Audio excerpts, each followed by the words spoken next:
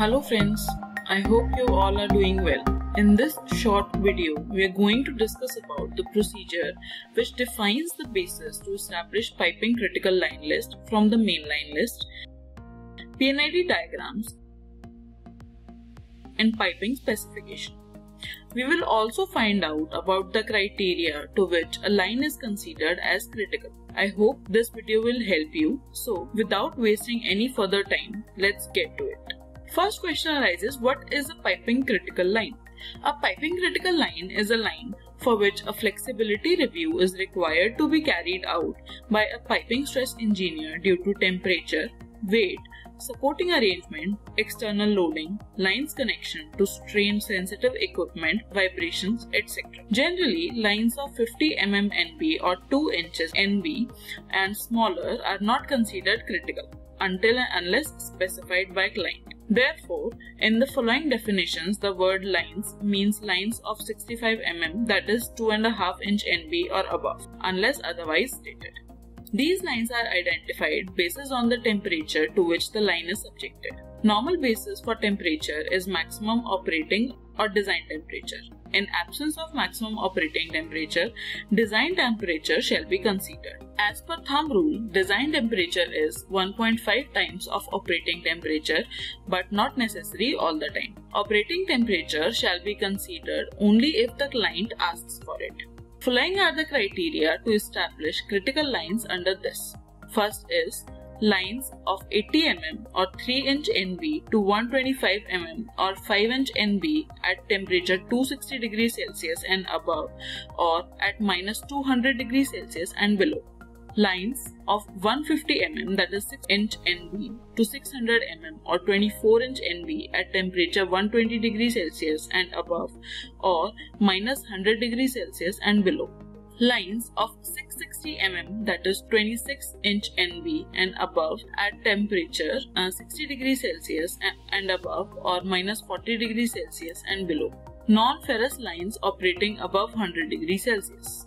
Jacketed lines of all sizes lines or system containing an expansion joint, for example bellows, has been predetermined by process group and shown on the P&ID based on their experience on a similar plant for accommodated thermal expansion. Bellows shall not be used unless approved by stress department. Any line for which formal calculations are specified either by client or local authorities, for example, IBR 370 calls for flexibility analysis of IBR controlled piping. However, same temperature criteria shall be followed as highlighted in first three points. IBR lines analysis shall be done using ANSI B31.1 code.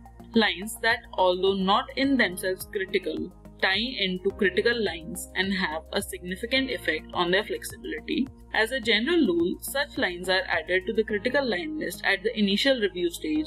These lines cease to be considered critical beyond the nearest anchor to the tie-in point.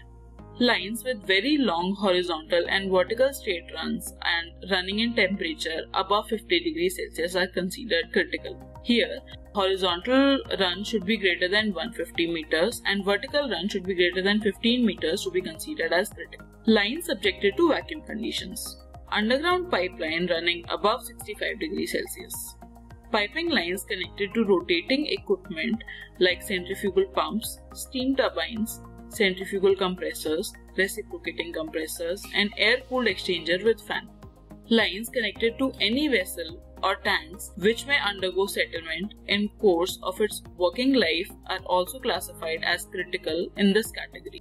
Lines connected to vessels which are fabricated from fragile construction such as graphite, glass, etc. Line connected to vessels with linings of a brittle nature, for example glass, brick or refractory materials or non-metallic material shall have piping connection based on vendor's recommendation. Lines to which field welding is prohibited such as stainless steel, alloy steel or thick carbon steel which require stress relieving after welding. Lines subject to two-phase flow. Lines upstream and downstream of pressure relieving devices such as relief valves, blow down valves, control valves, etc. These are the lines of 40 mm that is 1.5 NB and larger at any temperature with piping specification codes identified in the contract piping specification as ANSI B31.3 category M fluid service. All these criteria will help us identify the lines which comes under critical line list. So that is it guys for today's video. Please provide us your feedback in comment section below. And if you have any queries or doubts, please write to us in comment section below. Also, please like, share and subscribe and send us some love. Also, please click on that bell icon so that you can get notified every time we upload a new content. Till next time, bye bye, take care.